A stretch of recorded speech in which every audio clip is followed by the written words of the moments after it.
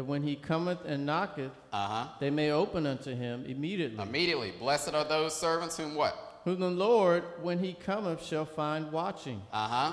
Verily I say unto you, Uh huh. that he shall gird himself gird himself. and make them to sit down to meat, Mm-hmm. and, And will what? come forth and serve them. Mm-hmm. And And if he will come in the second watch, the second watch. and come in the third watch, Mm-hmm. and find them so, Mm-hmm. blessed are those servants. The people who are ready and waiting on the Lord are going to be the ones that receive the blessing.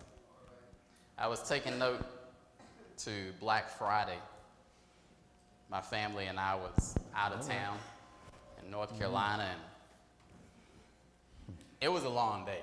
Yes, I'm a witness. Thanksgiving was a long day, and around about 11, 12 o'clock, I'm ready to turn it in, and Brian and Keith said, We're going to Walmart. Yes.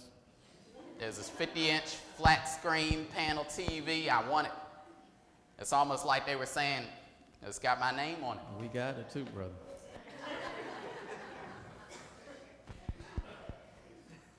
The ones who are ready and waiting on the Lord receives the blessing. Yeah.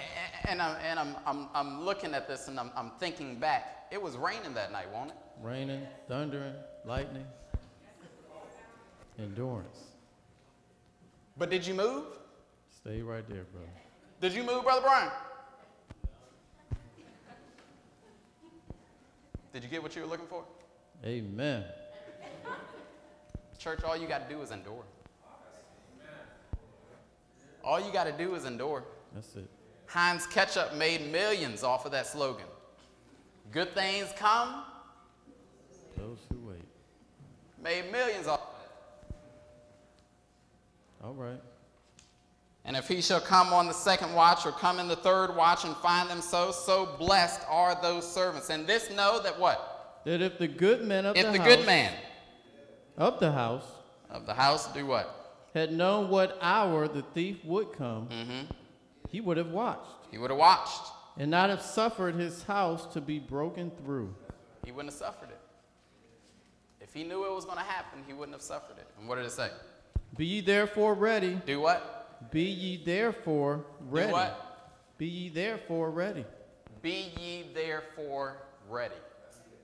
For what? Also, Mm-hmm. for the Son of Man cometh at an hour when you think not. In an hour. In an hour when you think not. When you know something is about to happen, you brace yourself for it. All right. I can speak because I done had two of my vehicles broken into Come on now. while I'm asleep and right outside my window.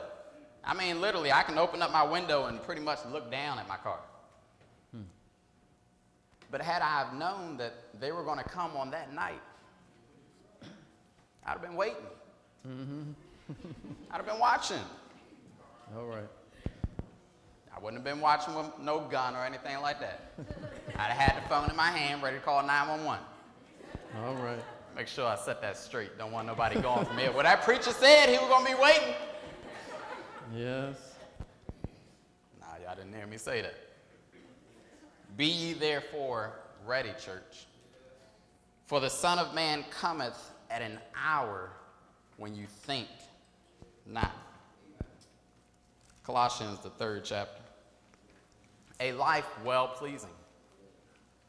A life well pleasing. Colossians, third chapter.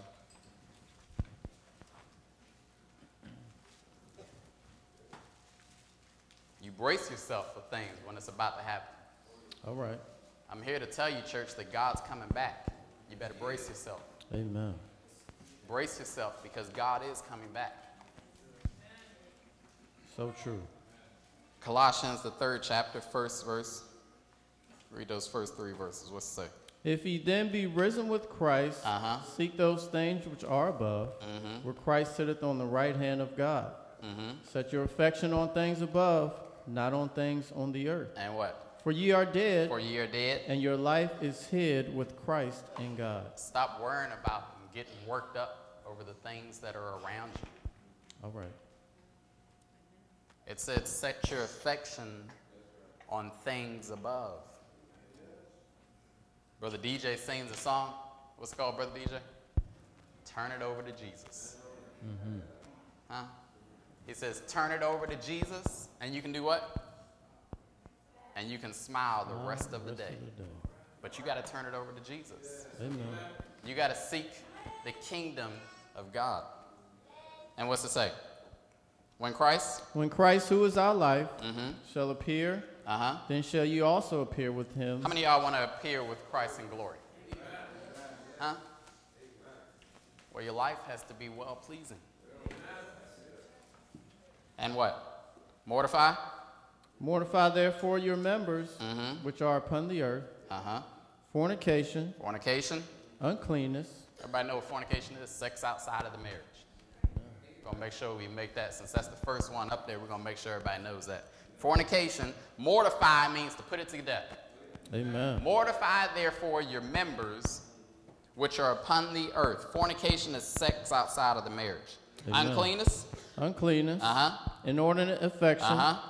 Evil Evil concupiscence, concupiscence, what? and covetousness, Coveting, wanting something that belongs to somebody else. What? which is idolatry. Uh huh. What? For which things sake the wrath of God Cometh on who? cometh on the children of disobedience. The wrath of God comes on people that are doing these things. Amen. For which things sake the wrath of God cometh on the children of disobedience in the time ye also walked sometime when you lived in them, but now what?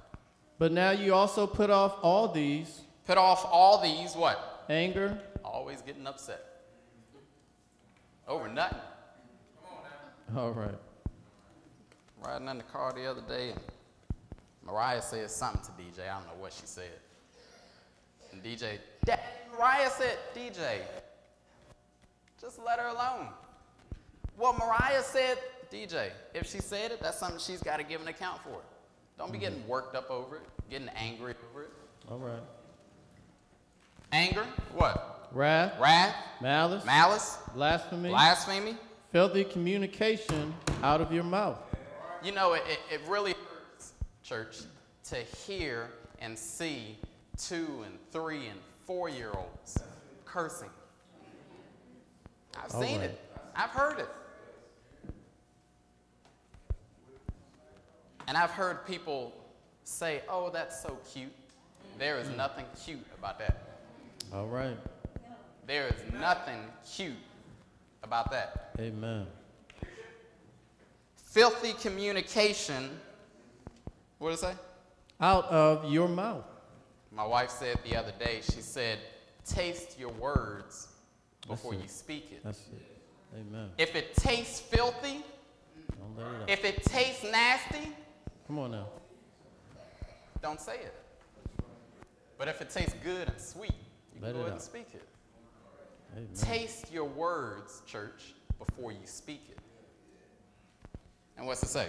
Lie not one to another. Do what? Lie not Lie one not. to another. Lie not one to another.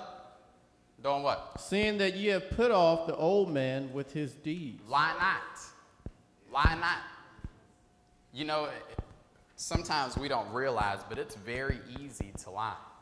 A friend of mine said, she said, on Sunday I'll be at church, God willing. Mm-hmm. And I, I commented to her, I said, I like how you added that, God willing. Because when you tell somebody that you're going to do something, what if something comes up? Mm-hmm. Guess what? You just lied to that person. Hmm. All right. That's why when you finish the statement, God willing, yes, All right. Deacon Paul, I'm going to your house to eat some dinner next weekend, God willing. Talk about it. You gonna have some food ready for me? so add God willing. When you say that you're gonna do this or you're gonna do that, make sure you say God willing so that you don't get caught up. Because only if it's not God's will, you ain't gonna be here. That's right. That's the book. Thanks be to God that friend is here today. Amen. She said, God willing. And what's it say? And have put on the new man. and have put on the new man. And what? Excuse me, we gotta go.